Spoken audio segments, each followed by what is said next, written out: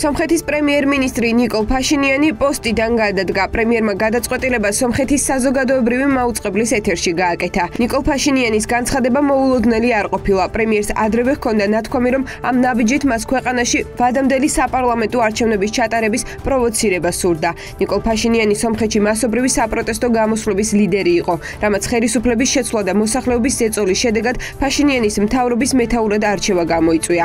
ამის მიუხედავად ნიკოლ ფაშინიანის მომხრეები ხელები პარლამენტში უმცირესობაში არიან. პარტია სამოქალაქო შეთანხმებას, რომელსაც ფაშინიანი წარმოადგენს, 105 ადგილიან პარლამენტში მხოლოდ 5 მანდატი აქვს.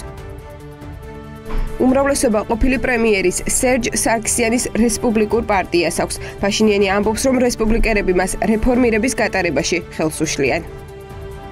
ახლა კონსტიტუციის თანახმად 14 დღის განმავლობაში პარლამენტმა ახალი პრემიერი უნდა აირჩიოს.